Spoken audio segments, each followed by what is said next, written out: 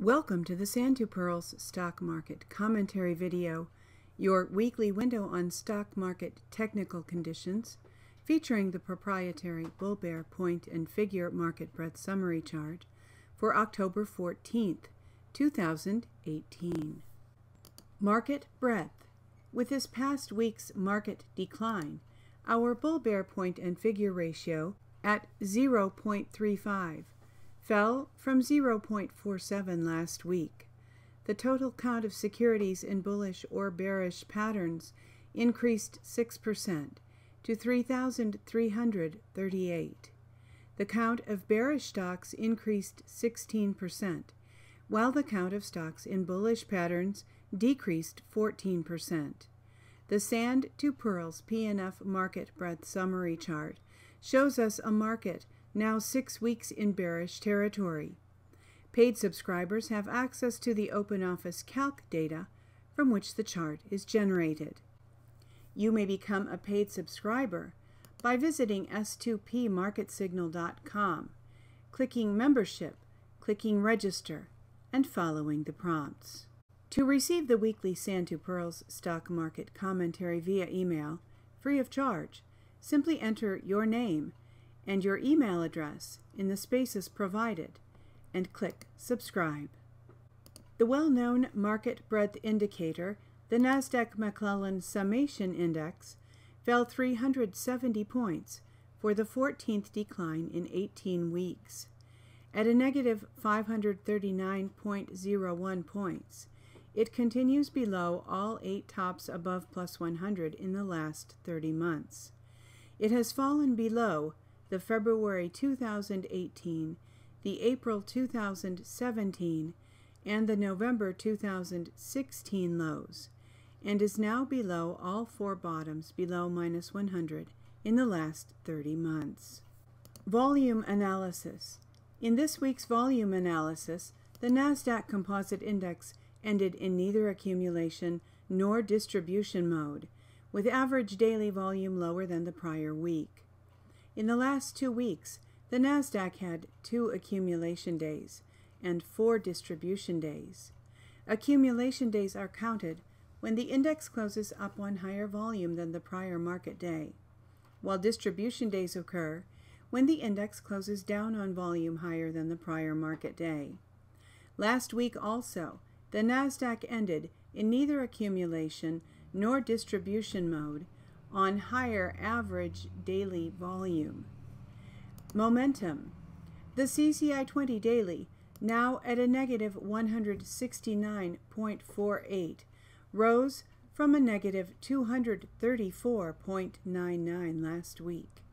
At Thursday 10-11 close, the CCI 20 daily had six consecutive days below zero for a Woody's trend change to down. In Woody's CCI trading system, six consecutive bars above or below zero are required for a change of trend. The weekly CCI 20 of the NASDAQ Composite Index began a Woody's uptrend 127 weeks ago, while the daily CCI 20 began a Woody's downtrend this past week.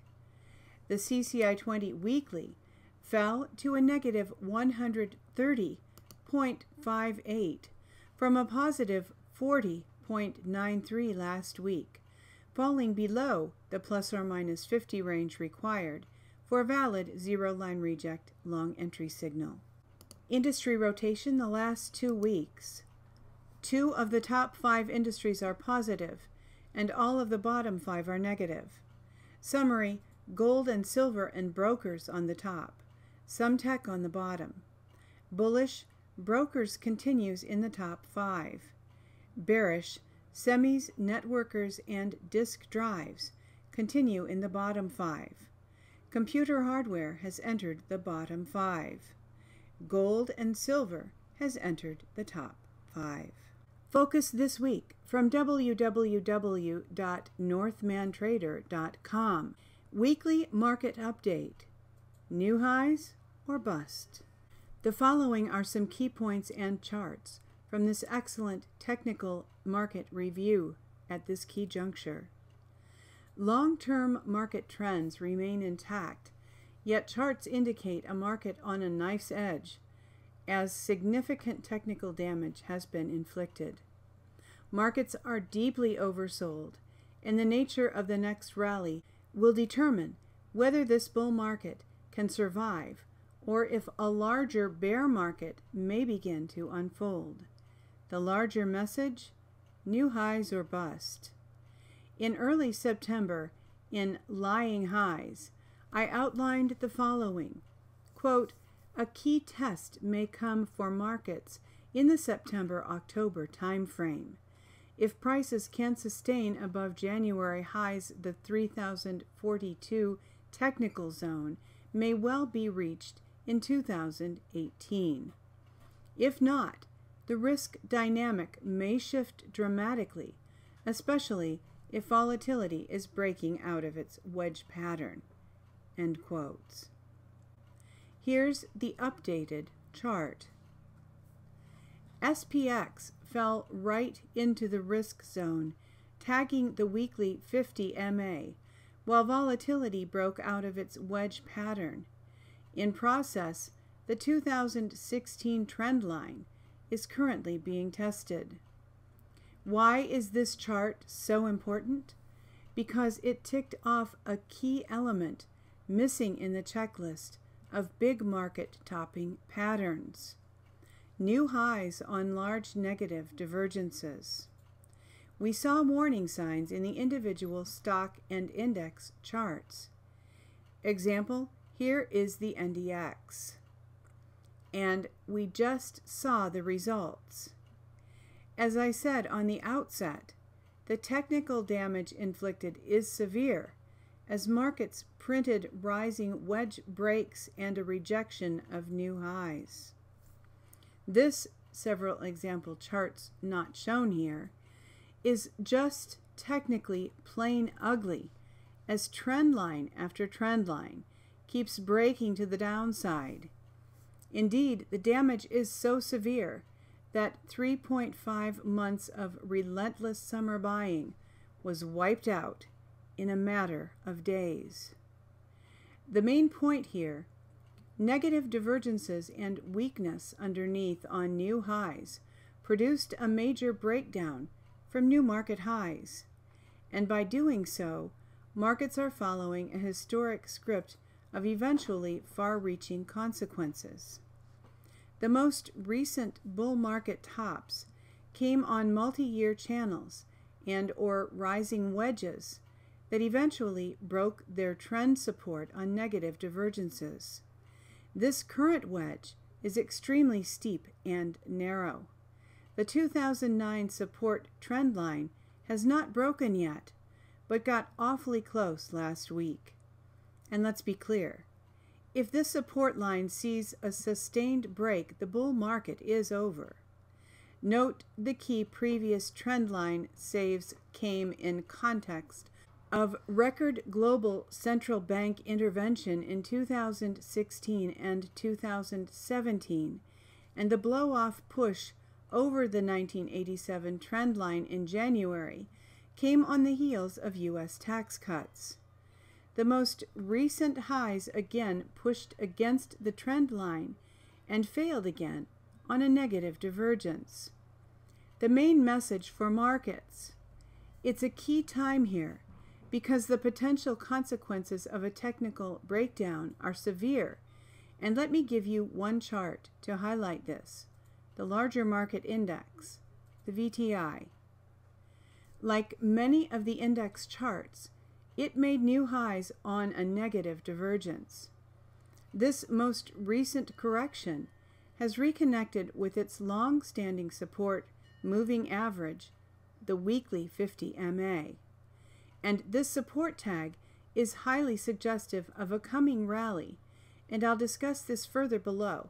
But note that the recent highs created a major technical confluence, aligning the 0.382 and the 0.50 FIBS with the key price pivots of 2014 2017.